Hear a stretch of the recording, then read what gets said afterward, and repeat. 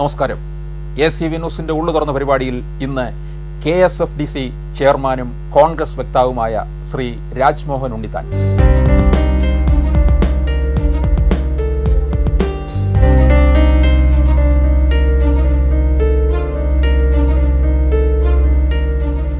സ്വാഗതം Shri Rajmohan Unnithan. K S F D സിയിലെ ശ്രീ രാജ്മോഹൻ ഉണ്ണിത്താന് എന്ത് കാര്യം എന്ന് ചിലരൊക്കെ ചോദിക്കുന്നുണ്ട്. എന്താ അതിന് ഉത്തരം? അല്ല ആ ചോ ചോദ്യത്തെ ഞാൻ വളരെ ഗൗരവമായിട്ട് എടുക്കുന്നില്ല. കാരണം അത് അജ്ഞതയിൽ നിന്ന് ഉടലെടുത്തൊരു ചോദ്യമാണെന്ന് ഞാൻ പറയൂ. കേരളത്തിലെ സകല കോർപ്പറേഷനുകളും സംഘടിപ്പിക്കാനുള്ള ചുമതല സംസ്ഥാന ഗവൺമെന്റാണ് ഒരു കോർപ്പറേഷന്റെ കാലാവധി മൂന്ന് വർഷമാണ്. ചലച്ചിത്ര വികസന കോർപ്പറേഷൻ പുനഃസംഘടിപ്പിച്ചിട്ട് മൂന്നര കൊല്ലം കഴിഞ്ഞു. അപ്പോൾ സ്വാഭാവികമായി ഗവൺമെന്റിൽ നിക്ഷിപ്തമായ അധികാരം വിനിയോഗിച്ചുകൊണ്ടാണ് മൂന്ന് കൊല്ലത്തിനകം പുനഃസംഘടിപ്പിക്കേണ്ട കോർപ്പറേഷൻ മൂന്നര കൊല്ലം കഴിഞ്ഞ് ശ്രീ തിരുവഞ്ചൂർ രാധാകൃഷ്ണൻ പുനഃസംഘടിപ്പിച്ചത്. അപ്പോൾ സ്വാഭാവികമായി അതൊരു പൊളിറ്റിക്കൽ നോമിനേഷൻ ആയതുകൊണ്ടാകാം കേരള പ്രദേശ് കോൺഗ്രസ് കമ്മിറ്റിയുടെ പ്രസിഡന്റിനോട് ആ സ്ഥാനത്തേക്ക് അനുയോജ്യനായ ഒരാളിന്റെ പേര് തരണമെന്ന് പറയുകയും കേരള പ്രദേശ് കോൺഗ്രസ് കമ്മിറ്റിയുടെ ആരാധ്യനായ president C V M Sudheeran എന്റെ പേര് കൊടുക്കുകയും ചെയ്ത സാഹചര്യത്തിലാണ് ഞാൻ ഈ സ്ഥാനത്തേക്ക് കടന്നു വന്നത്. അപ്പോൾ സ്വാഭാവികമായി ഗവൺമെന്റിന് അർഹതപ്പെട്ട അവകാശപ്പെട്ട ഒരു ദൗത്യം അവർ നിർവഹിച്ചു. അതിനെ ചോദ്യം ചെയ്യാൻ ഈ രാജ്യത്ത് ആർക്കും അവകാശമില്ല. അതുകൊണ്ട് ആരെങ്കിലും അതിനെ ചോദ്യം ചെയ്തിട്ടുണ്ടെങ്കിൽ അവരുടെ അജ്ഞത കൊണ്ട് മാത്രമാണെന്നേ എനിക്ക് പറയാൻ പറ്റും. ഈ പൊളിറ്റിക്കൽ നോമിനേഷനൊക്കെ മുൻ സിനിമാ മന്ത്രി മുഴുവൻ പൊളിച്ചെഴുതിയതല്ലേ? മുഴുവൻ സിനിമാക്കാരെയും തന്നോട് വിധേയത്വം പുലർത്തുന്നവരെയൊക്കെ അക്കാര്യത്തിൽ അവിടെ നിയമിച്ചു അല്ലേ? ഇപ്പോൾ അതിന് മാറ്റം വരുത്തിയിരിക്കുകയാണ്. അല്ല ഓരോ ഗവൺമെന്റുകൾ മാറി മാറി വരുമ്പോൾ ആ ഗവൺമെന്റിനെ അധികാരത്തിൽ കൊണ്ടുവരാൻ പ്രയത്നിച്ച ആളുകൾക്കാണ് ഇത്തരം അവസരങ്ങൾ കൊടുക്കുന്നത്. സ്വാഭാവികമായി അവസരം കൊടുക്കുമ്പോൾ അതിന് അനുയോജ്യരായ ആളുകളെ കണ്ടെത്തിയിട്ട് തന്നെയാണ് പലപ്പോഴും അത് കൊടുക്കുന്നത്. ഇപ്പോൾ ഫിലിം ഡെവലപ്മെന്റ് കോർപ്പറേഷന്റെ ചെയർമാൻ സ്ഥാനത്ത് ചലച്ചിത്ര ലോകവുമായി ബന്ധമുള്ള ഒരാൾ വേണം എന്നതിന്റെ ഭരണഘടനയിലൊന്നും എഴുതി വെച്ചിട്ടില്ല. അപ്പോൾ സ്വാഭാവികമായി ഇതിന്റെയൊക്കെ ഒരു അഡ്മിനിസ്ട്രേറ്റീവ് കപ്പാസിറ്റിയാണ് സ്വാഭാവികമായി ഗവൺമെന്റ് നോക്കുന്നത്. ഇത് ഏൽപ്പിച്ചാൽ ഇത് കൊണ്ടു നടക്കാനുള്ള പ്രാപ്തിയുണ്ടോ? കഴിവുണ്ടോ? എല്ലാവരെയും സഹകരിച്ച് മുന്നോട്ട് കൊണ്ടുപോകാനുള്ള പിന്നെ ഒരു പ്രാവീണ്യമുണ്ടോ? ഇതൊക്കെയാണ് നോക്കുന്നത്. അല്ലാതെ ഇപ്പോൾ സിനിമാ ലോകത്തുള്ള ഒരാൾ തന്നെ ഫിലിം ഡെവലപ്മെന്റ് കോർപ്പറേഷൻ ചെയർമാൻ ആകണമെന്നുള്ള വാദം അംഗീകരിച്ചാൽ നാളെ ബീവറേജ് കോർപ്പറേഷൻ ചെയർമാൻ സ്ഥാനത്ത് കേരളത്തിലെ ഏറ്റവും വലിയൊരു കുടിയനെ വെക്കേണ്ടി വരും. കേരളത്തിന്റെ ആഭ്യന്തരമന്ത്രി സ്ഥാനത്തേക്ക് ഒരു പോലീസുകാരനെ വെക്കേണ്ടി വരും. അതുപോലെ തന്നെ ടോഡി ആൻഡ് വെൽഫെയർ കോർപ്പറേഷന് ചതലപ്പത്ത് ഏറ്റവും നന്നായി കള്ളു കുടിക്കുന്ന ആളെ വെക്കേണ്ടി വരും. ഇതൊക്കെ ബാലിശമായ വാദമുഖങ്ങളാണ്. അതുകൊണ്ട് സിനിമയുമായി ബന്ധമുള്ള ഒരാളെ വെക്കണം എന്ന് വ്യവസ്ഥയൊന്നുമില്ല. പിന്നെ ശ്രീ ഗണേശൻ. ഗണേശൻ ഈ സ്ഥാനങ്ങൾ നടത്തിയ നിയമനത്തെക്കുറിച്ച് അദ്ദേഹത്തിന്റെ പിതാവ് പോലും ആക്ഷേപം ഉന്നയിച്ചിട്ടുണ്ട്. കാര്യം അദ്ദേഹത്തെ മന്ത്രിയാക്കിയത് കേരള കോൺഗ്രസ് ബി ആണ്. അതിന്റെ ചെയർമാൻ ശ്രീ ആർ ബാലകൃഷ്ണപിള്ളയാണ്. അദ്ദേഹത്തോട് പോലും ഒരു വാക്ക് ചോദിക്കാതെയും അദ്ദേഹത്തോട് പോലും ആലോചിക്കാതെയാണ് അദ്ദേഹം സകല നിയമനങ്ങളും നടത്തിയെന്നൊരു ആക്ഷേപം പിതാവും ആ പാർട്ടിയുടെ ചെയർമാൻ കൂടിയായ ശ്രീ ആർ ബാലകൃഷ്ണപിള്ള ഉന്നയിച്ചിട്ടുണ്ട്. മാത്രമല്ല ഈ ഗവൺമെന്റ് അധികാരത്തിൽ വരാതിരിക്കാൻ ഭഗീരഥ പ്രയത്നം നടത്തിയ പല ആളുകൾക്കും അദ്ദേഹം കോർപ്പറേഷന്റെ ചെയർമാൻ സ്ഥാനം നൽകിയത്. പാർട്ടിക്കകത്തും മുന്നണിക്കകത്തും വലിയ ഒച്ചപ്പാടുണ്ടാക്കിയ ഒരു സംഭവമാണ്. അതുകൊണ്ട് അദ്ദേഹം അനുവർത്തിച്ച ഒരു നയം അതേപടി തുടരാനല്ല ശ്രീ തിരുവഞ്ചൂർ രാധാകൃഷ്ണൻ മന്ത്രിയായി വന്നത്. അദ്ദേഹത്തിന് സിനിമാ വ്യവസായത്തെക്കുറിച്ച് വ്യക്തമായ കാഴ്ചപ്പാടുകളുണ്ട്. ആ കാഴ്ചപ്പാടുകളെ അടിസ്ഥാനമാക്കിയിട്ടാണ് അദ്ദേഹം ഈ നിയമനം നടത്തിയിട്ടുള്ളത്. പക്ഷേ ഒരു കാര്യം വളരെ ശ്രദ്ധേയമാണ്. എന്നെ ഇതിന്റെ ചെയർമാനായി വെച്ചപ്പോൾ സിനിമാ ലോകവുമായി ബന്ധപ്പെട്ട് ശ്രീ ഗണേഷ് കുമാർ ഈ കോർപ്പറേഷൻ വെച്ചിട്ടുള്ള ഒരാളെപ്പോലും മാറ്റാൻ ശ്രീ തിരുവഞ്ചൂർ രാധാകൃഷ്ണൻ തയ്യാറായിട്ടില്ല എന്നുള്ളത് വളരെ പ്രത്യേകം പ്രസ്തവ്യമാണ് പക്ഷേ അങ്ങനെ മാറ്റാനായിട്ട് തയ്യാറെടുത്തില്ലെങ്കിൽ പോലും ഇപ്പൊ ഗണ ശ്രീ ഗണേഷ് കുമാർ താങ്കളുടെ നിയമനത്തെ സ്വാഗതം ചെയ്തു അല്ലേ? നല്ല തീരുമാനം തീർച്ചയായിട്ടും തീർ- എന്നെ ഗണേഷ് കുമാറിന് വർഷങ്ങളായിട്ട് അറിയാവുന്ന ആളാണ്. അദ്ദേഹം എന്നെ ചേട്ടാന്നാണ് വിളിക്കുന്നത്. ഞാൻ ചെയർമാൻ ആയതിനു ശേഷം അദ്ദേഹത്തെ ഫോണിൽ വിളിച്ചിരുന്നു. അദ്ദേഹത്തിന്റെ സഹായം ഞാൻ ചോദിച്ചിരുന്നു. എന്റെ സ്ഥാനാരോഹണ ചടങ്ങിൽ അദ്ദേഹം പങ്കെടുക്കണം എന്ന് ഞാൻ അഭ്യർത്ഥിച്ചിരുന്നു. എന്നോട് വളരെ നല്ല രീതിയിലാണ് അദ്ദേഹം പെരുമാറിയത്. ഞാൻ വന്നതിലുള്ള സന്തോഷം അദ്ദേഹം എന്നോട് പങ്കിടുകയുണ്ടായി. മാത്രമല്ല അന്ന് ക്ഷേത്ര സംബന്ധമായ ചില പരിപാടികൾ പങ്കെടുക്കാനുള്ളത് കൊണ്ട് മാത്രമാണ് അദ്ദേഹത്തിന് വരാൻ സാധിക്കാത്തത് എന്നെ എന്നെ എന്നെ അറിയിച്ചു. ഭാവിയിൽ എല്ലാ എന്റെ പ്രവർത്തനങ്ങൾക്കും അദ്ദേഹം ആശംസകൾ നേരുകയും സഹായം വാഗ്ദാനം ചെയ്യുകയും ചെയ്തിട്ടുണ്ട്. എന്നോട് യാതൊരു വിധമായ പിണക്കവും അദ്ദേഹം കാണിച്ചിട്ടുമില്ല. എന്റെ നിയമനത്തെ അദ്ദേഹം അംഗീകരിച്ചിട്ടുണ്ട്. മാത്രമല്ല എല്ലാ സഹായ സഹകരണങ്ങളും വാഗ്ദാനം ചെയ്തിട്ടുണ്ട്. എന്റെ സ്ഥാനാരോഹണ ചടങ്ങിൽ അദ്ദേഹം പങ്കെടുത്തില്ലെങ്കിൽ പോലും അദ്ദേഹത്തിന്റെ പിന്തുണ എനിക്കുണ്ടാകുമെന്നുള്ള കാര്യത്തിൽ നൂറ് ശതമാനം ഉറപ്പാണ്. പക്ഷെ മാധ്യമങ്ങളോട് താങ്കൾക്ക് വേണ്ട തരത്തിലുള്ള പിന്തുണ പ്രഖ്യാപിക്കുകയും അദ്ദേഹം നിയമിച്ച ചില അംഗങ്ങളെ അദ്ദേഹത്തിന്റെ സമ്മർദ്ദത്തിൽ രാജിവെക്കുകയും ചെയ്തു. അല്ലേ? അപ്പോൾ ഇതിന്റെ പിന്നിലുള്ള കളിയാണ്. അല്ല അതിനെക്കുറിച്ച് എനിക്കറിയില്ല. കാരണം ഞാൻ നേരെ വാ നേരെ പോ എന്ന് ചിന്തിക്കുന്ന ഒരാളാണ്. കാരണം ഞാൻ ആളുകളുടെ മുഖത്ത് നോക്കി കാര്യങ്ങൾ പറയും. അതുകൊണ്ട് എന്റെ മനസ്സിൽ യാതൊരു കളങ്കവുമില്ല. ഒന്ന് പറയുകയും മറ്റൊന്ന് പ്രവർത്തിക്കുകയും ചെയ്യുന്ന ശീലവും പാരമ്പര്യവും എനിക്കില്ല. അതുകൊണ്ട് അത്തരം പാരമ്പര്യമുള്ള ആരെങ്കിലും അങ്ങനെയൊക്കെ ചെയ്താൽ അതിന്റെ ശിക്ഷ അവർക്ക് തന്നെ കാലം കൊടുക്കുമെന്നല്ലാതെ എനിക്കതിനെക്കുറിച്ച് ഒരു പരാതിയോ ആക്ഷേപമോ ഇല്ല എന്നുള്ളതാണ് സത്യം. ഇതൊരു ജനാധിപത്യ സംവിധാനമാണ് നമ്മുടെ രാജ്യത്ത് നിലനിൽക്കുന്നത്. ജനാധിപത്യ സംവിധാനത്തിൽ അഭിപ്രായ സ്വാതന്ത്ര്യമുണ്ട്.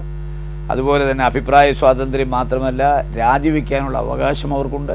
അപ്പോൾ അഭിപ്രായ സ്വാതന്ത്ര്യത്തോടൊപ്പം രാജിവെക്കാനുള്ള അവകാശത്തോടൊപ്പം ഈ രാജി സമർപ്പിച്ച അല്ലെങ്കിൽ കിട്ടിയിരിക്കുന്ന ആളുകൾക്ക് അത് സ്വീകരിക്കാനും സ്വീകരിച്ചാൽ ആ സ്ഥാനത്ത് മറ്റുള്ളവരെ കണ്ടെത്താനും അവർക്കും ജനാധിപത്യപരമായ അവകാശമുണ്ട്. അപ്പോൾ സ്വാഭാവികമായി ജനാധിപത്യ പ്രക്രിയയിൽ ഈ രണ്ട് കൂട്ടർക്കും അവരുടേതായ സ്വാതന്ത്ര്യമുണ്ട്. ഒന്ന് അഭിപ്രായം പറയാം. രണ്ട് രാജിവെക്കാം മൂന്ന് രാജി സ്വീകരിക്കാം. പുതിയ ആളുകളെ കണ്ടെത്താം.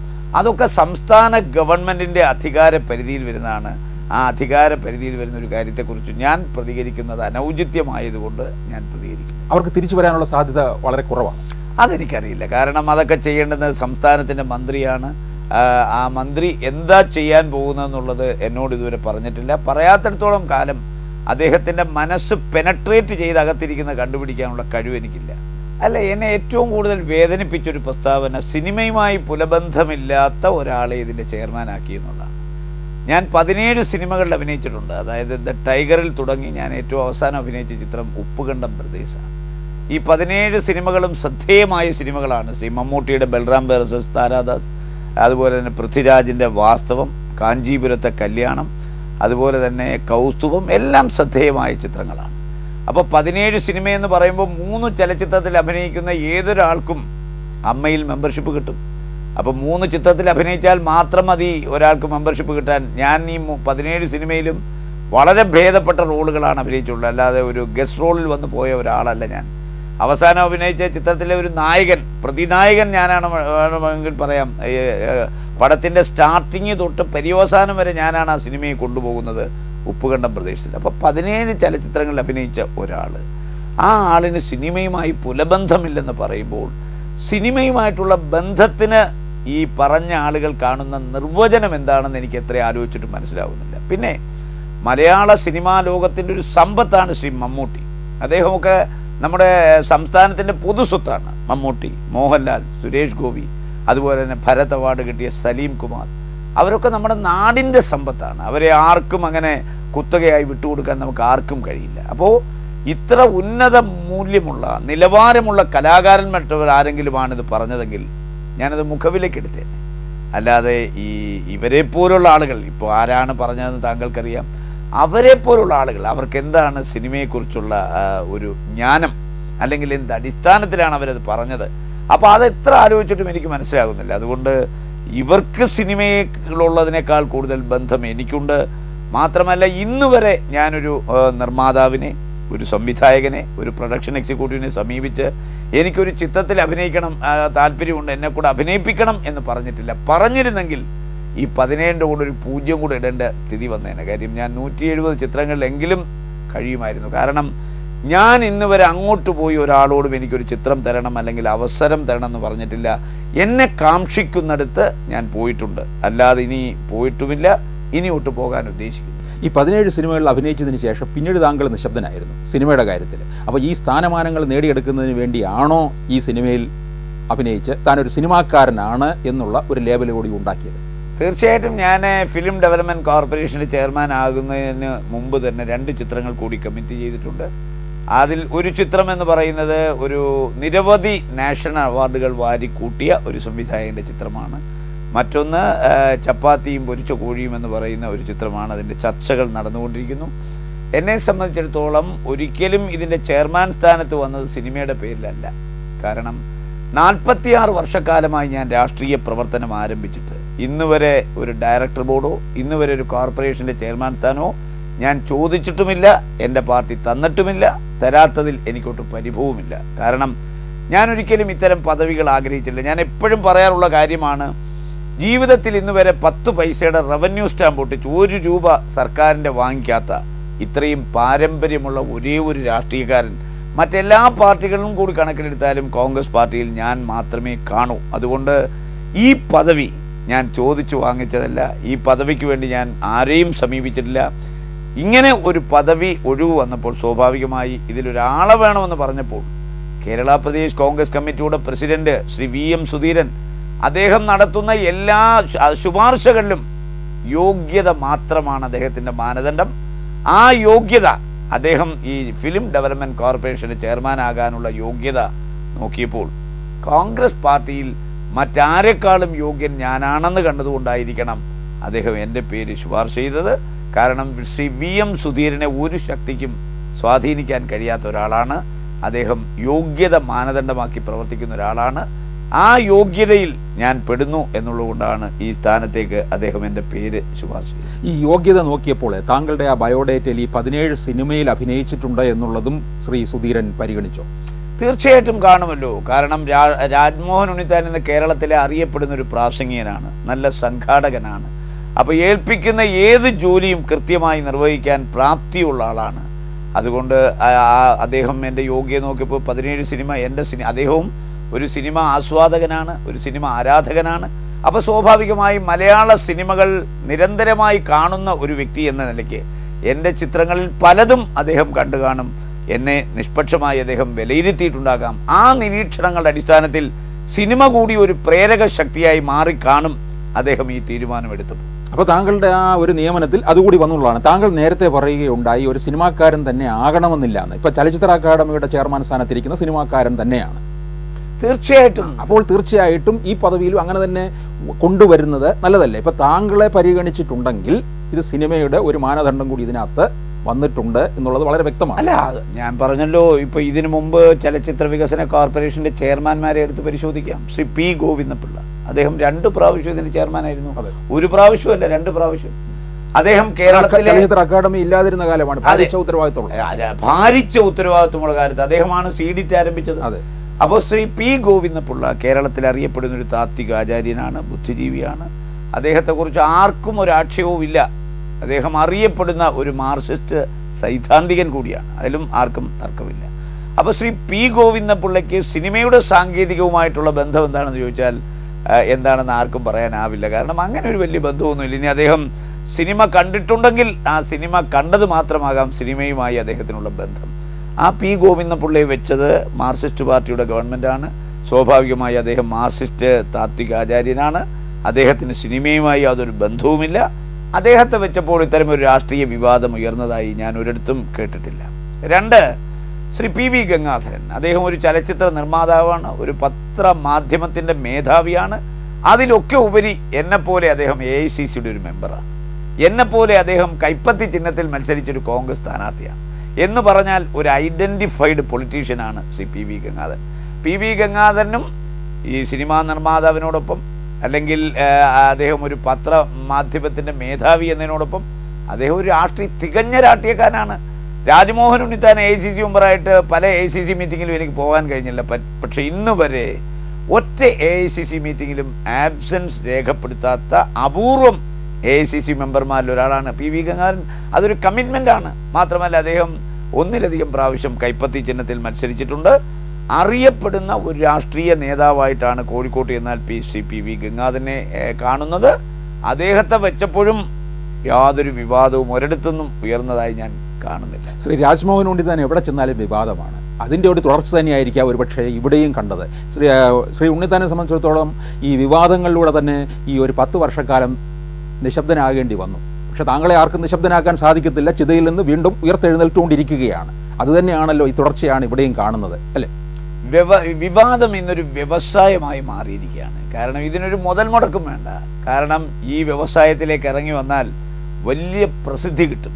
കാരണം ഇന്ന് ജീവിച്ചിരിക്കുന്നുണ്ടോ എന്ന് മറ്റുള്ളവർക്ക് അറിയാൻ സാധിക്കാതെ പോയ പല ആളുകളും ഈ വിവാദത്തിലൂടെ ഇന്ന് ജീവിച്ചിരിക്കുന്നു എന്നുള്ള ഒരു സത്യമാണ്. അപ്പോൾ സ്വാഭാവികമായി ഈ വിവാദത്തിന് തിരികൊടുത്തിയവർ സ്വാഭാവികമായി രാജ്മോഹൻ ഒരു വിവാദം ഉയർത്തിയാൽ ആ വിവാദം ആളി കത്തിക്കാമെന്നും അതിലൂടെ തങ്ങൾക്ക് പ്രശസ്തരാകാമെന്നും ചിന്തിച്ചു കാണും. എന്തായാലും ഒരു കാര്യം ഞാൻ പറയാം. ഞാൻ വിവാദങ്ങളെ ഭയപ്പെടുന്ന ഒരാളല്ല. കാരണം എന്റെ രാഷ്ട്രീയ ജീവിതത്തിൽ ഒരു മറയും എനിക്കില്ല. പറഞ്ഞു മനസ്സിലായില്ല? അതുകൊണ്ട് എനിക്കാരെയും പേടിക്കാനില്ല ഭയക്കാനില്ല. അതുകൊണ്ട് വിവാദങ്ങൾ ആരുയർത്തിയാലും ഒരു അണുക്കട ഞാൻ ഭയപ്പെട്ട് പിന്നോട്ട് മാറുന്നൊരു സ്വഭാവം എന്റെ ജീവിതത്തിൽ ഇന്നുവരെ ഉണ്ടായിട്ടില്ല. ഈ വിവാദത്തെയും ഞാൻ അങ്ങനെ തന്നെയാണ് കണ്ടിട്ടുള്ളത്. കാരണം ഇതിലും യാതൊരു അടിസ്ഥാനമില്ല അവർ പറഞ്ഞത് സിനിമയുമായി പുലബന്ധമില്ലെന്ന. എന്ത് ആ പതിനേഴ് സിനിമയിൽ അഭിനയിച്ച ആളുകൾക്ക് പുല പുലബന്ധമില്ലെന്ന് പറഞ്ഞാൽ അതാണ് ഞാൻ പറഞ്ഞത്. അടിസ്ഥാനരഹിതമായ ആരോപണങ്ങൾ ഉന്നയിച്ച് ആളാകാൻ ശ്രമിക്കുന്ന ചില ആളുകളുടെ ഒരു പ്രവൃത്തിയായി മാത്രമേ ഞാൻ ഇതിനെ കാണുന്നുള്ളൂ. ഈ വിവാദം കൊണ്ട് നഷ്ടമുണ്ടായത് എനിക്കല്ല. ആരാണോ വിവാദം ഉയർത്തിയത്? അവർക്ക് മാത്രമാണ് നഷ്ടം. അത് കാലം തെളിയിക്കും എന്നാണ് എനിക്ക് പറയുന്നത് ഈ കെ എസ് എഫ് ഡി സിയിലെ കണക്കുകൾ ഒക്കെ തന്നെ ലാഭത്തിലാണ് കാണിക്കുന്നത്. പക്ഷെ താങ്കൾ പറയുന്നുണ്ട് അതിനകത്ത് വൻ ക്രമക്കേടുകൾ നടന്നിട്ടുണ്ട് എന്ന് പറയുന്നുണ്ട് അല്ലേ? ഇതിനെക്കുറിച്ച് ഓഡിറ്റിങ്ങിൽ താങ്കൾ ഇതിനകത്ത് കൂടുതൽ അന്വേഷണം ഉണ്ടാകും അല്ലേ? ഞാൻ അങ്ങനെ പറഞ്ഞിട്ടില്ല. ഞാൻ പറഞ്ഞത് ഈ ലാഭമാണ് ഈ സ്ഥാപനം പ്രവർത്തിക്കുന്നത് ലാഭത്തിലാണ് പ്രവർത്തിക്കുന്നതെങ്കിൽ സ്വാഭാവികമായി വരവ് ചെലവ് കണക്കുകൾ അവതരിപ്പിക്കണം. ആകെ വരവിത്ര ആകെ ചെലവിത്ര അപ്പോഴല്ലേ നഷ്ടവും ലാഭവും കണക്കാക്കാൻ പറ്റൂ? രണ്ടായിരത്തി പത്തിന് ശേഷം ഇന്ന് വരെ അവിടുത്തെ കണക്കുകൾ ഓഡിറ്റ് ചെയ്യപ്പെട്ടിട്ടില്ല. അത് ഇന്റേണൽ ഓഡിറ്റ് നടന്നിട്ടില്ല അതുപോലെ തന്നെ ഫൈനൽ നാല് തരം ഓഡിറ്റ് ഉണ്ട്. അതിൽ ഫൈനൽ ഓഡിറ്റാണ് എ ജി നടത്തേണ്ട ഓഡിറ്റ്. രണ്ടായിരത്തി പത്തിനു ശേഷം ഇവർ പോയ ഭരണാധികാരികൾ ചാർജ് എടുത്തത് രണ്ടായിരത്തി പതിനൊന്നിലാണ് അപ്പോൾ രണ്ടായിരത്തി പത്ത് വരെയുള്ള കണക്കേ അവതരിപ്പിക്കപ്പെട്ടിട്ടുള്ളൂ. അപ്പോൾ രണ്ടായിരത്തി പത്തിന് ശേഷം ആഡിറ്റ് നടക്കാത്ത സാഹചര്യത്തിൽ ഇവർ പിന്നെ എങ്ങനെയാണ് അവിടെ ലാഭമാണെന്ന് പറയുന്നത്? ഇപ്പോൾ ഒരു ഉദാഹരണം ഞാൻ പറയാം. എനിക്ക് ഒരുപാട് പരാതികൾ കിട്ടി. കാരണം ചലച്ചിത്ര വികസന കോർപ്പറേഷന്റെ തിയേറ്ററുകളിൽ പ്രദർശനം നടത്തിയ ചിത്രങ്ങൾ വൻപിച്ച സാമ്പത്തിക കളക്ഷൻ നേടിയ ചിത്രങ്ങൾ. ആ ചിത്രത്തിന്റെ വിഹിതം അതിന്റെ നിർമ്മാതാക്കൾക്ക് അല്ലെങ്കിൽ ഡിസ്ട്രിബ്യൂട്ടർക്ക് ഇതുവരെ കൊടുത്തിട്ടില്ല എന്ന് പരാതി വന്നു. അപ്പം ഞാൻ പറഞ്ഞു ഒരു കാരണവശാലും ഒരു നയാ പൈസ പോലും ബാലൻസ് കൊടുക്കാൻ കാണത്തില്ല. കാരണം ഈ സ്ഥാപനത്തിന്റെ വരവ് ചെലവ് അവതരിപ്പിച്ചിട്ടാണല്ലോ ലാഭമാണെന്ന് പറഞ്ഞത്. അപ്പം ലാഭത്തിൽ പ്രവർത്തിക്കുന്നു എന്ന് പറയപ്പെടുന്ന സ്ഥാപനത്തിൽ എങ്ങനെയാ ഈ പണം കൊടുക്കാനുള്ളത്? അപ്പം എല്ലാം കൊടുത്തു തീർത്തിട്ടാണല്ലോ ലാഭത്തിന്റെ ഒരു തോത് അളക്കുന്നത്. അപ്പം ഞാൻ അതിന്റെ ഒരു വിശദീകരണം ഇതിന്റെ ഉത്തരവാദിത്തപ്പെട്ടവരോട് ആവശ്യപ്പെട്ടു. അവർ ഇന്നലെ എനിക്ക് തന്നു. തന്നപ്പോഴാണ് ഞാൻ അറിയുന്നത് എഴുപത്തിയഞ്ച് ലക്ഷം രൂപ കൊടുത്തു തീർക്കാനുണ്ട് ഈ ചലച്ചിത്ര നിർമ്മാതാക്കൾക്ക് അല്ലെങ്കിൽ ഡിസ്ട്രിബ്യൂട്ടേഴ്സിന് ആ, കൊടുത്തു തീർക്കാനുള്ള എഴുപത്തഞ്ച് ലക്ഷം രൂപയിൽ മുന്തിയ പങ്കും ഏത് ചലച്ചിത്രമാണോ ബമ്പർ കളക്ഷൻ നേടിയെടുത്തത് ആ ചിത്രങ്ങളുടെ പൈസയാണ് അപ്പോൾ അതിൽ നിന്ന് ഒരു കാര്യം മനസ്സിലാക്കുന്നത് ഈ ലാഭകരമായി ഓടിയ ചിത്രങ്ങളുടെ പൈസ എടുത്തും അവിടെ മറ്റു പല കാര്യങ്ങൾക്കും ഉപയോഗിച്ച് അതായത് വകമാറി ചെലവാക്കുക എന്ന് പറയില്ലേ ചെലവാക്കിയിട്ടാണ് നിത്യനിദാന ചെലവുകൾ നടത്തി മുന്നോട്ട് പോയിട്ടുള്ളത്. അപ്പോൾ അതിന്റെ അർത്ഥം അത് ലാഭകരമാണെന്നല്ല. ഞാൻ പറഞ്ഞത് ലാഭകരമായി അവകാ അന്ന് അവകാശപ്പെടുന്നവർക്ക് പോലും ഒരു കാര്യം നിഷേധിക്കാനാവില്ല. കാരണം സംസ്ഥാന ഗവൺമെന്റ് ഇരുപത് കോടി രൂപയ്ക്കകത്ത് ഇവരെ ഏൽപ്പിച്ചിട്ടുണ്ട്.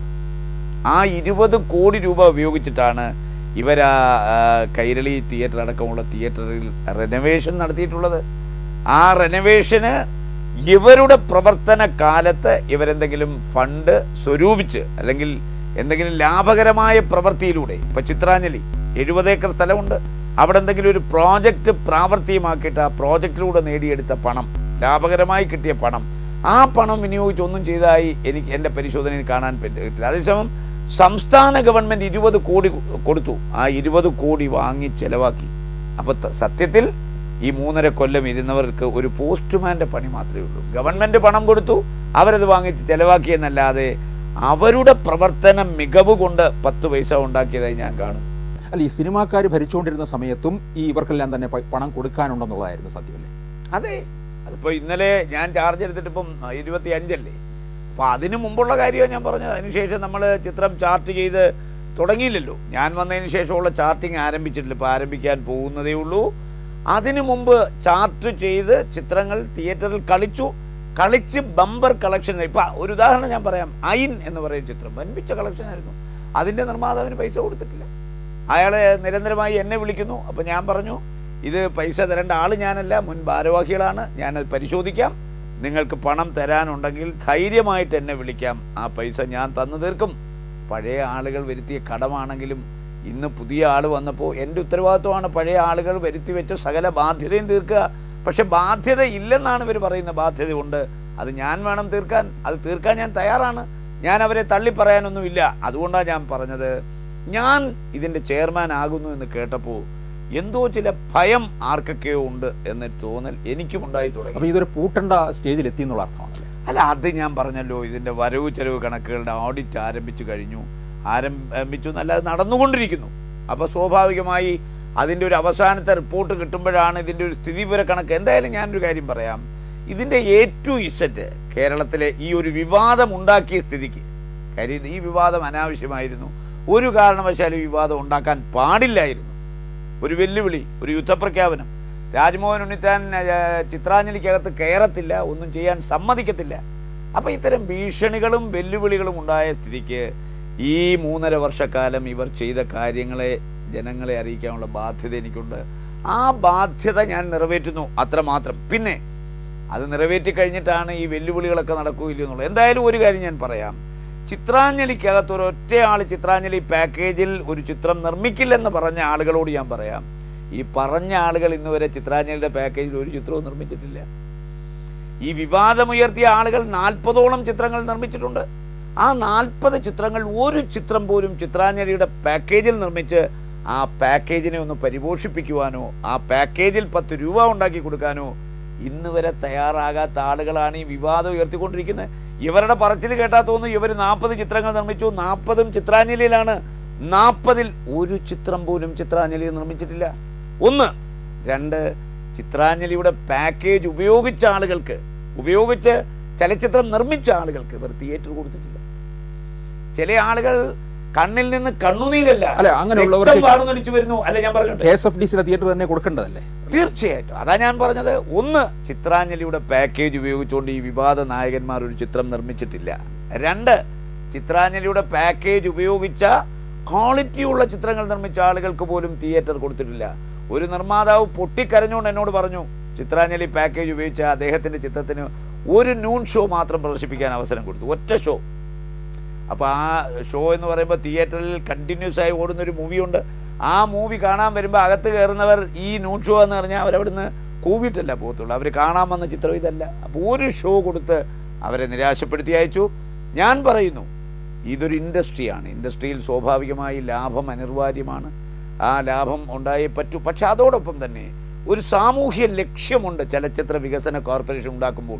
ആ സാമൂഹ്യ ലക്ഷ്യമെന്ന് പറയുന്നത് സാമൂഹ്യ നന്മയാണ്. ആ സാമൂഹ്യ നന്മയ്ക്ക് വേണ്ടി ചലച്ചിത്രങ്ങൾ നിർമ്മിക്കുന്ന ആളുകൾ ലോ ബഡ്ജറ്റ് ചിത്രങ്ങൾ നിർമ്മിക്കുന്ന ആളുകൾ ചിത്രാഞ്ജലിയുടെ പാക്കേജ് ഉപയോഗിക്കുന്ന ആളുകൾ ക്വാളിറ്റിയുള്ള ചിത്രങ്ങൾ നിർമ്മിച്ചാൽ ആ ചിത്രത്തിന്റെ നിർമ്മാതാവിന് ഒരിക്കലും സംവിധായകന് നിരാശപ്പെടേണ്ടി വരില്ല. അവിടെ ചിത്രം ഞാൻ ഈ കസേരയിൽ ഇരിക്കുന്നിടത്തോളം കാലം പ്രദർശനത്തിന് എത്തിയിരിക്കും ചിത്ര നമ്മുടെ കൈരളിയിലൂടെ. ഈ മുൻകാല അനുഭവങ്ങൾ വെച്ചിട്ട് പലരും ഒരുപക്ഷെ ഈ ചിത്രാഞ്ജലിയുടെ പാക്കേജ് ഉപയോഗിക്കാൻ വിമുഖത കാണിക്കത്തില്ലേ? കാരണം ഇടം കിട്ടുന്നില്ലെങ്കിൽ പിന്നെ എങ്ങനെയാണ്? ഇല്ലല്ലോ ഞാൻ ചെയർമാൻ ആയത് അതെ അത് താങ്കൾ ഇപ്പോൾ പറയുന്നു. ഇനി മുൻകാലത്തെ അനുഭവം വെച്ച് ഒരു പക്ഷേ ഇതിനകത്ത് ഇനിയും തയ്യാറെടുക്കുമോ ആരെങ്കിലും? അതാണ് ഞാൻ പറഞ്ഞത്. ഞാൻ ചെയർമാൻ ആയത് സത്യം പറഞ്ഞാൽ ആരും അറിഞ്ഞില്ല. പത്ത് മാളൂരെ അറിയിച്ചത് ഇവരാണ്. ഇപ്പൊ എല്ലാവരും അറിഞ്ഞു. ഇപ്പൊ ഞാൻ ചെയർമാൻ ആണെന്നുള്ള വിവരം ലോകത്തിനി അറിയാൻ ആരുമില്ല. അതിന് ഞാൻ ഇവരോട് നന്ദി രേഖപ്പെടുത്തണം. കാരണം ഈ വിവാദം വന്നില്ലെങ്കിൽ ഞാനാണ് ചെയർമാൻ എന്നുള്ള അധികം ആരും അറിയത്തില്ല. ഇപ്പൊ എല്ലാവരും അറിഞ്ഞു. അതുകൊണ്ട് എല്ലാവരും എന്നെ ടെലിഫോണിൽ വിളിക്കുന്നു എന്നെ അഭിനന്ദിക്കുന്നു. ഞാനുമായി സഹകരിക്കാൻ തയ്യാറാകുന്നു. അപ്പോഴാണ് ഈ വിവാദമുയർത്തിയവരുടെ വലിപ്പം ഞാൻ മനസ്സിലാക്കുന്നത്. ഇവർ സിനിമാ ലോകത്ത് എത്ര കണ്ട് വലിപ്പമുള്ളവരാണെന്ന് ഞാൻ മനസ്സിലാക്കിയത് എന്നെ വിളിച്ചവരുടെ ഒരു ഗ്രാവിറ്റി കാണുമ്പോഴാണ്. ഈ ചിത്രാഞ്ജലിയുടെ പാക്കേജ് ഉപയോഗിക്കാത്ത നിർമ്മാതാക്കൾ ഒരുപക്ഷെ റിലീസിങ്ങിന് തയ്യാറാകുമോ ഇവിടെ? അതല്ലേ ഞാൻ പറഞ്ഞു അല്ല അവരൊരുപക്ഷെ കാരണം കൊടുത്തു കൊടുത്തിട്ടില്ല. ഒരു നിർമ്മാതാവ് താങ്കളുടെ മുമ്പിൽ വന്ന് പൊട്ടിക്കരഞ്ഞു എന്നല്ലേ പറയുന്നത്. അപ്പോൾ അവരിനി അങ്ങ അങ്ങനെയുള്ളവർ ഇനി അങ്ങനെ റിലീസിങ്ങിന് വരുമോ? തീർച്ചയായിട്ടും വരുമല്ലോ. ഇപ്പോൾ ചിത്രാഞ്ജലി പ്രദ പത്ത് നൂറ്റി നാൽപ്പത് ചിത്രങ്ങൾ ഇപ്പോഴും പെട്ടിക്കാതിരിക്കുകയാണ് സൂര്യപ്രകാശം കണ്ടിട്ടില്ല. ആ ചിത്രങ്ങളിൽ ക്വാളിറ്റിയുള്ള ചിത്രങ്ങൾ. കാര്യം ഈ ചിത്രാഞ്ജലിയുടെ പാക്കേജ് കിട്ടാൻ വേണ്ടി ചിത്രം നിർമ്മിച്ച ആളുകളുണ്ട്.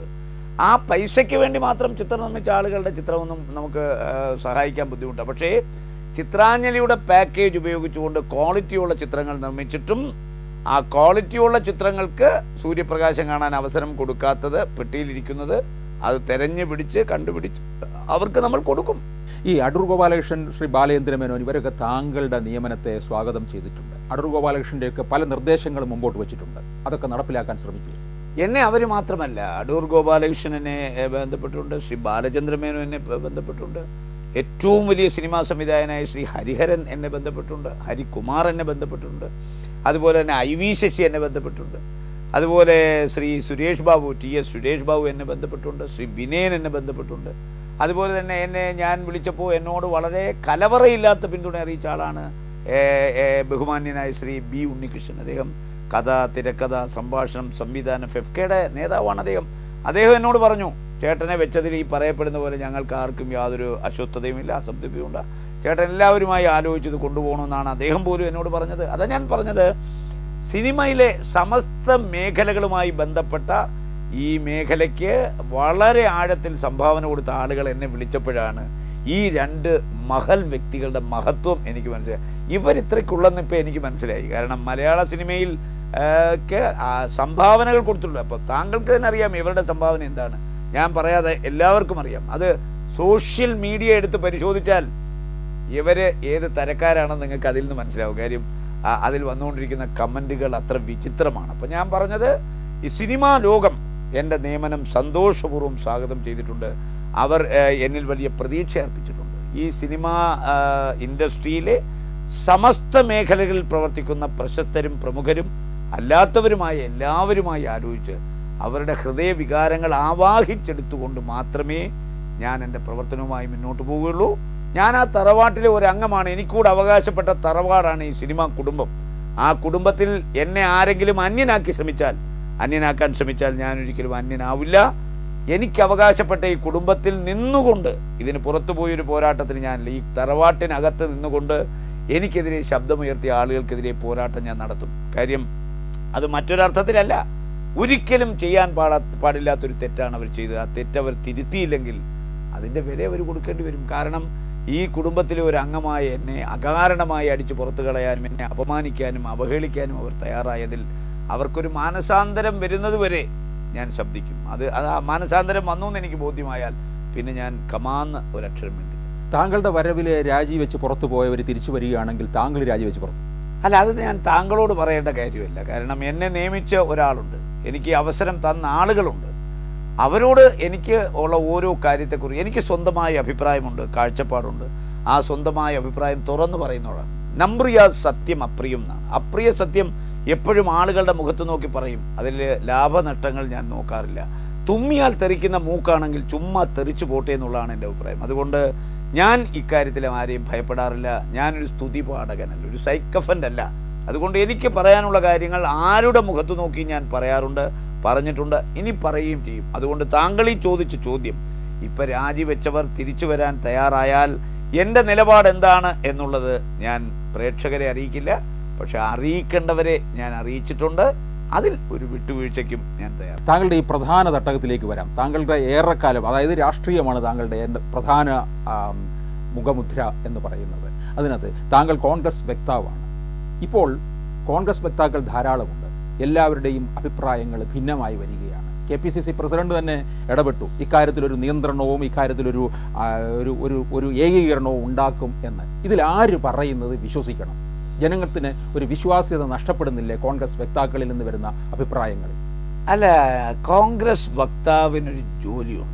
ആ ജോലി എന്ന് പറയുന്നത് കോൺഗ്രസ് പാർട്ടിക്കും കോൺഗ്രസ് പാർട്ടി നേതൃത്വം കൊടുക്കുന്ന ഗവൺമെന്റിനും സുശക്തമായ ഒരു പ്രതിരോധ നിര കെട്ടിപ്പടുക്കുക എന്നുള്ളതാണ് ഒന്ന്. രണ്ട് നമ്മുടെ രാഷ്ട്രീയ പ്രതിയോഗികൾ നമ്മളെ ആക്രമിക്കുമ്പോൾ പ്രത്യാക്രമണം നടത്തി അവരെ കീഴ്പ്പെടുത്തണം. അത് ഞങ്ങളുടെ ജോലിയാണ്.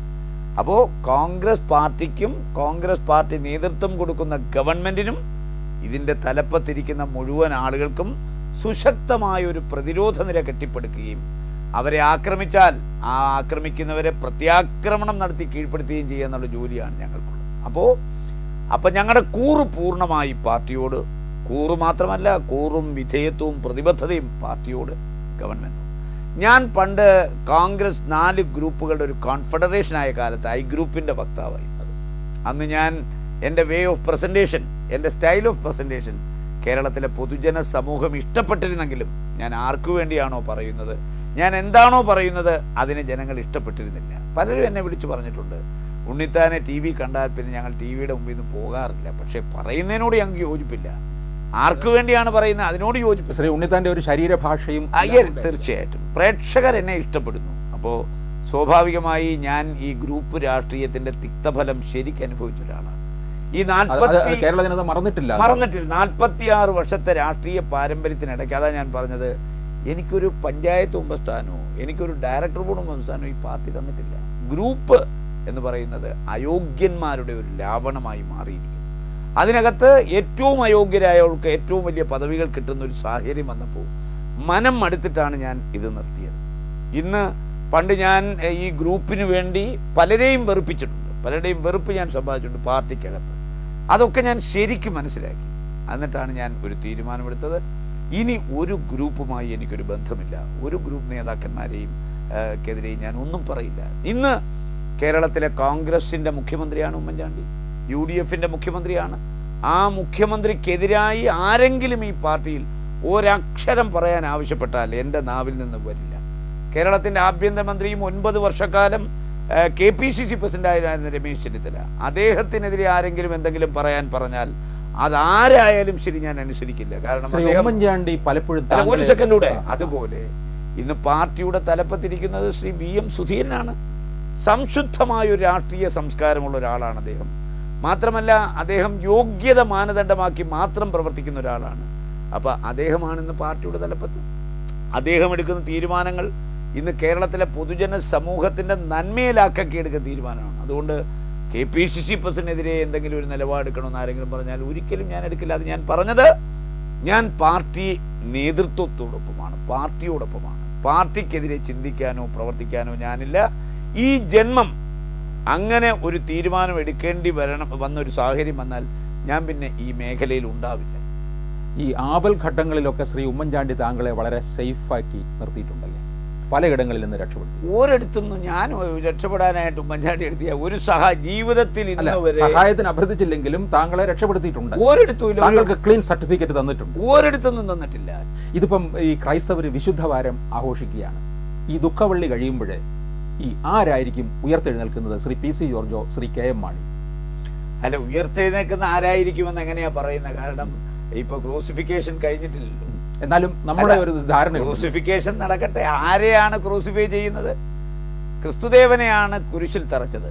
അതുകൊണ്ടാണല്ലോ മൂന്നാമത്തെ ദിവസം അയാൾ ഉയർത്തെഴുന്നേറ്റത്. ഇവിടെ കുരിശിൽ ആരാണ് തറയ്ക്കപ്പെടാൻ പോകുന്നത് നമുക്കറിയത്തില്ലല്ലോ. ഇപ്പൊ കുരിശ് പിന്നെ ഇത് കഴിഞ്ഞിട്ടില്ല. കഴിയാത്തടത്തോളം കാലം ഉയർത്തെഴുന്നേൽപ്പും നടക്കത്തില്ലല്ലോ. അപ്പം കുരിശിൽ തറയ്ക്കുന്ന സമയം വരട്ടെ. അപ്പൊ നമുക്ക് തീരുമാനിക്കാം. പക്ഷെ താങ്കൾക്ക് എന്തായാലും ഒരു കാര്യം ഞാൻ പറയാം. കേരളത്തിലെ രാഷ്ട്രീയ സംഭവവികാസങ്ങളോട് താങ്കൾ ഈ യേശുക്രിസ്തുവിന്റെ കുരിശി തറയ്ക്കുന്നതായിട്ട് ഉപയോഗിക്കരുത് കാരണം ആ സംഭവം ഒരു മഹത്തായ വിപ്ലവമാണ്.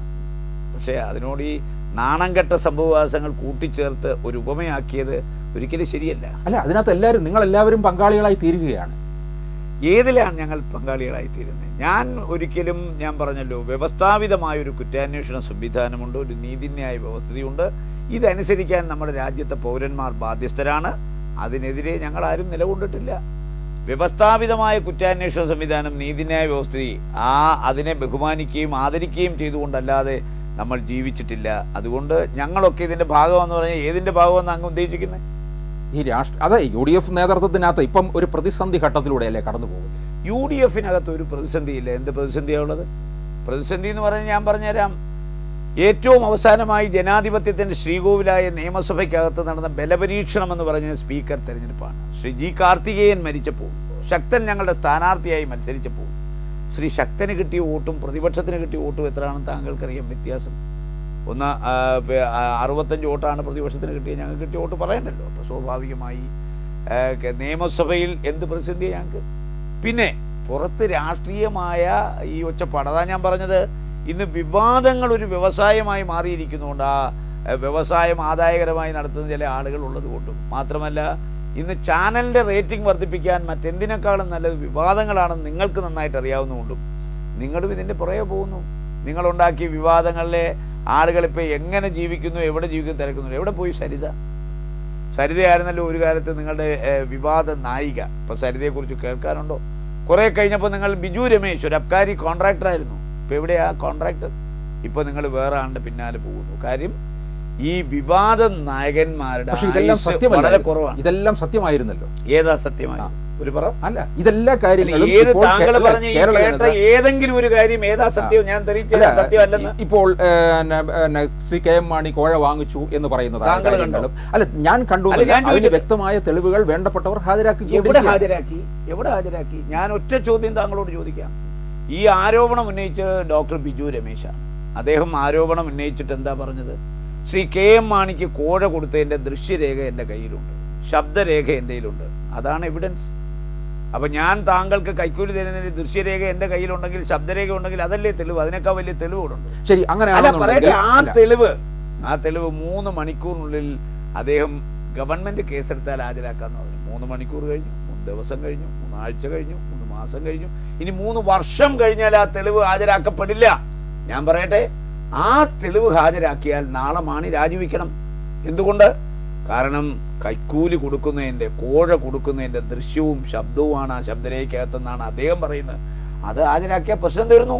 അപ്പോൾ ആരോപണം ഉന്നയിച്ച ആളിന് പോലും തെളിവ് ഹാജരാക്കാൻ കഴിയുന്നില്ല. അതാ ഞാൻ പറഞ്ഞത് നമ്മുടെ രാജ്യത്തൊരു നീതിന്യായ വ്യവസ്ഥയുണ്ട് ഇവിടെ കുറ്റാരോപിതർ ഒരിക്കലും കുറ്റവാളികളല്ല. എഫ് ഐ ആറിൽ പേര് വന്നാൽ പ്രതിയല്ല. ഇനി കുറ്റപത്രത്തിൽ പേര് വന്നാൽ കുറ്റപത്രം വായിച്ചു കേൾപ്പിക്കും. കേൾപ്പിച്ചിട്ട് എന്താ ചോദിക്കുന്നത് ഈ കുറ്റം നിങ്ങൾ ചെയ്തോ? ചെയ്തില്ല. അപ്പോഴല്ലേ ട്രയൽ ആരംഭിക്കുന്നത്? അല്ലെങ്കിൽ ആ കുറ്റപത്രം വായിച്ചു കേൾപ്പിച്ചിട്ട് ജഡ്ജി പറയണം നിങ്ങളെ ഞാൻ ശിക്ഷിക്കുന്നു. എന്തുകൊണ്ടാണ് പറയാത്തത്? കുറ്റപത്രം വായിച്ചു കേൾപ്പിച്ച് കുറ്റം നിഷേധിക്കപ്പെടുമ്പോൾ ട്രയൽ ആരംഭിക്കുകയാണ്. ആ ട്രയലിന്റെ അവസാനമാണ് വിധി വരുന്നത്. വിധിയിൽ കൾപ്രിറ്റാന്ന് വിധിക്കുന്നിടത്തോളം കാലം അക്യൂസ്ഡ് ആണ്. ഇന്ത്യൻ നിയമം അനുസരിച്ച് ഒരു കുറ്റാരോപിതൻ കുറ്റവാളിയല്ല. ഇവിടെ ഒരു കുറ്റാരോപിതനെ കുറ്റവാളി ആക്കാൻ ശ്രമിക്കുന്നു. അതിന്റെ അർത്ഥം ആട്ടിനെ പട്ടിയാക്കാൻ ശ്രമിക്കുന്നു. അതിന്റെ കൂടൊപ്പം നമ്മുടെ പത്രക്കാരും ചാനലുകാരും പോകുന്നതുകൊണ്ട് സത്യം ജനങ്ങളിൽ എത്തുന്നില്ല. ശ്രീ പി സി ജോർജിനെ യു ഡി എഫ് കൈവിടുമോ? പി സി ജോർജിനെ കൈവിടുമോ എന്നല്ല പറയുന്നത്. ഞങ്ങളുടെ ഐക്യ ജനാധിപത്യ മുന്നണി ഒരു ജനാധിപത്യ കൂട്ടായ്മയാണ്. അതിന് നേതൃത്വം കൊടുക്കുന്ന കോൺഗ്രസ് ആണ് അതിലെ മൂന്നാമത്തെ പ്രസ്ഥാനമാണ് കേരള കോൺഗ്രസ്. രണ്ടാം സ്ഥാനം നിയമസഭയിലെ അംഗം വെച്ച് മുസ്ലിം ലീഗിനാണ്. ഈ മൂന്നാമത്തെ പ്രസ്ഥാനമായ കേരള കോൺഗ്രസിന് ഞങ്ങൾ രണ്ട് മന്ത്രിസ്ഥാനം കൊടുത്തിട്ടുണ്ട്. ഒരു ചീഫ് വിപ്പ് സ്ഥാനം കൊടുത്തിട്ടുണ്ട്. ആ മന്ത്രിമാരാരാണെന്ന് തീരുമാനിച്ച അവരുടെ പാർട്ടിയാണ്. ചീഫ് വിപ്പ് ആരാണെന്ന് തീരുമാനിച്ച അവരുടെ പാർട്ടിയാണ്. അവരുടെ നേതാവ് ശ്രീ കെ എം മാണിയാണ്. ആ കെ എം മാണി ഞങ്ങളോട് അതിലൊരാളെ മാറ്റണമെന്ന് ആവശ്യപ്പെട്ടാൽ അതാരായാലും ശ്രീ പി സി ജോർജ് ആയാലും ശ്രീ പി ജെ ജോസഫ് ആയാലും ആരായാലും ആ പാർട്ടി രേഖാമൂലം ഞങ്ങളുടെ ഗവൺമെന്റിനോട് ആവശ്യപ്പെട്ടാൽ അയാളെ മാറ്റിയിരിക്കും. അപ്പോൾ. ചീഫ് സ്ഥാനം മാറ്റും മാറും എന്നുള്ളത് ഉറപ്പായി കഴിഞ്ഞിരിക്കുന്നു. അതെനിക്കറിയത്തില്ല. ഞാൻ പറഞ്ഞത് കേരള കോൺഗ്രസിന് ഞങ്ങൾ കൊടുത്തിരിക്കുന്ന സ്ഥാനങ്ങൾ ആ സ്ഥാനത്ത് നോമിനികളെ തീരുമാനിച്ചവരാണ്. ആ നോമിനിയെ മാറ്റി മറ്റൊരാളുടെ പേര് ആ പാർട്ടി ഞങ്ങൾക്ക് തന്നാൽ അതായത് യു ഡി എഫ് നേതൃത്വത്തിന് തന്നാൽ നേതൃത്വം ഞങ്ങൾക്കായതുകൊണ്ട് ഞങ്ങൾ ഈ ജനാധിപത്യ സംവിധാനത്തിൽ നിന്നുകൊണ്ട് ആ പാർട്ടി ഞങ്ങൾക്ക് നൽകുന്ന ശുപാർശകൾ ഞങ്ങൾ അംഗീകരിക്കും. അത് ശ്രീ കെ എം മാണി ഞങ്ങൾക്ക് നൽകിയിരിക്കുന്ന ശുപാർശ പി സി ജോർജിനെ മാറ്റി മറ്റൊരാളെ വെക്കാനാണെങ്കിൽ അത് വച്ചിരിക്കും. യാതൊരു തർക്കവുമില്ല. ശ്രീ കെ എം മാണി തന്നെ പറയുന്നുണ്ട് ഈ കഴിഞ്ഞ നാല് വർഷമായിട്ട് യു ഡി എഫിനെ ശിഥിലീകരിക്കാനുള്ള ഒരു ശ്രമമാണ് ശ്രീ പി സി ജോർജ് നടത്തിക്കൊണ്ടിരിക്കുന്നത്. താങ്കൾക്ക് എന്ത് തീർച്ചയായിട്ടും. അദ്ദേഹം യു ഡി എഫിന്റെ ചീഫ് വിപ്പാണ്. ഒരു മന്ത്രിക്കുള്ള ഒരു അധികാരം മാത്രമേ അദ്ദേഹത്തിന് ഇല്ലാതുള്ളൂ ഒപ്പിടാനുള്ള അധികാരം. ബാക്കി എല്ലാ അധികാരവും ഉണ്ട് അദ്ദേഹത്തിന് മന്ത്രി മന്ദിരമുണ്ട്. അദ്ദേഹത്തിന് മന്ത്രിമാർക്കുള്ള അതേ പേഴ്സണൽ സ്റ്റാഫുണ്ട് അദ്ദേഹത്തിന് പിന്നെ മന്ത്രിക്കുള്ള അതേ വാഹനമുണ്ട്. അതേ വാഹനം. ഒരു മന്ത്രി ഏത് വാഹനം ഉപയോഗിക്കുന്നു? ചീഫ് ഇപ്പോൾ അതേ അപ്പം ചുരുക്കി പറഞ്ഞാൽ ഞാൻ മുമ്പ് പറഞ്ഞതുപോലെ ഒരു മന്ത്രിക്ക് ഉള്ള അധികാരം മുഴുവൻ ചീഫ് ഇപ്പിന് കൊടുത്തിട്ടുണ്ട്. ക്യാബിനറ്റ് റാങ്കാണ്. ഒപ്പിടാൻ മാത്രം അധികാരമില്ല. അത് സ്പീക്കർക്കും ഇല്ല അദ്ദേഹത്തിന്. അപ്പോൾ സ്വാഭാവികമായി നമ്മൾ മനസ്സിലാക്കും സ്പീക്കർക്ക് ഒപ്പിടാൻ വിപുലമായ അധികാരമുണ്ട് ഒരു മന്ത്രിയുടെ അധികാരമില്ല. അപ്പം ഞാൻ പറഞ്ഞത് ചീഫ് വിപ്പിന്റെ ജോലി എന്താ? കോൺഗ്രസ് വക്താവിന്റെ ജോലിയാണ് ചീഫ് വിപ്പിന്റെ ജോലി അതാണ്. ഈ ഗവൺമെന്റിന് സുശക്തമായ പ്രതിരോധ നില കെട്ടിപ്പടുക്കണം. ഗവൺമെന്റിനെ ആക്രമിക്കാൻ വരുന്നവരെ പ്രത്യാക്രമണം നടത്തി കീഴ്പ്പെടുത്തണം. ഗവൺമെന്റിന് പ്രതിസന്ധി വരുമ്പോൾ ഒരാൾ പോലും പൊഴിഞ്ഞു പോകാതെ എല്ലാവരെയും അണിനിരത്തി ഗവൺമെന്റിനെ പ്രൊട്ടക്റ്റ് ചെയ്യണം.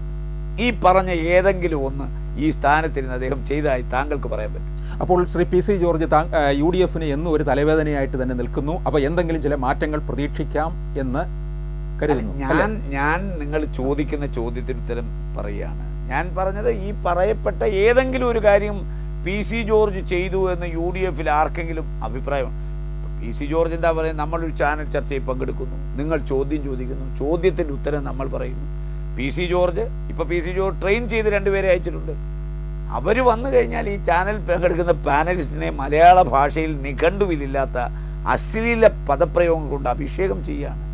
അപ്പൊ ചീത്ത വിളിച്ച് വായടപ്പിക്കുക എന്നുള്ളതാണ് അവരുടെ ലൈൻ. അല്ല ചോദ്യത്തിന് ഉത്തരം പറയലല്ല. അപ്പൊ അതുകൊണ്ട് ഈ പി സി ജോർജും പി സി ജോർജ് അയക്കുന്ന രണ്ടാൾ രണ്ട് ചാവേറുകളുണ്ട്. അവരൊക്കെ ചാനൽ വരുമ്പോൾ പലർക്കും ചാനൽ ചർച്ചയിൽ പങ്കെടുക്കാൻ പേടിയാ. കാരണം നമുക്ക് ഭാര്യയുണ്ട് കുട്ടികളുണ്ട് കുടുംബമുണ്ട്. ചാനൽ വന്നിരുന്ന ഈ അപരിചിതർ നമ്മളെ ആക്ഷേപിക്കുമ്പോൾ പി സി ജോർജ് ഇങ്ങനെ തെറി കൊണ്ട് അഭിഷേകം ചെയ്യുമ്പോൾ ഇവരെയൊക്കെ കിട്ടിയിരുന്നെങ്കിൽ കൊടുങ്ങല്ലൂർ പൂരപ്പാട്ട് വീണ്ടും തുടങ്ങിയ അത്ര മനോഹരമായ ലാംഗ്വേജ് ആണ് ഇവർ ഉപയോഗിക്കുന്നത്. അപ്പം നമുക്കൊക്കെ ചുരുക്കി പറഞ്ഞാൽ ചാനൽ ചർച്ചകൾ പങ്കെടുക്കാൻ ഇവരും ഇവർ ബന്ധപ്പെട്ട ആൾ പേടി ഞാൻ പറഞ്ഞത് രാഷ്ട്രീയത്തിൽ ഓരോരുത്തരും അനുവർത്തിക്കുന്നില്ല. ഞാൻ താങ്കളോട് ഇതുവരെ പറഞ്ഞത് എന്റെ പാർട്ടിയുടെ നയമാണ് എന്റെ ഗവൺമെന്റ് നയമാണ്. അത് പാർട്ടി ഓൺ ചെയ്യുന്ന നയമാണ്. എന്നെങ്കിലും ഒരിക്കൽ എന്റെ പാർട്ടി പ്രസിഡന്റ് അല്ലെങ്കിൽ എന്നെങ്കിലും ഒരിക്കൽ എന്റെ മുഖ്യമന്ത്രി എന്റെ പാർട്ടി നേതൃത്വം ഞാൻ പറയുന്നത് പാർട്ടിയുടെ നയമല്ലെന്ന് പറഞ്ഞാൽ അന്ന് ഞാൻ ഈ പണി നിർത്തണം. അപ്പോൾ ഏതായാലും ചലച്ചിത്ര വികസന കോർപ്പറേഷനിൽ നിന്ന് പുതിയ വാർത്തകളും രാഷ്ട്രീയ വാർത്തകളുമായി വീണ്ടും നമുക്ക് കാണാം. ഇത്രയേ ഉള്ളു. തുറന്നതിന് വളരെ നന്ദി. നമസ്കാരം.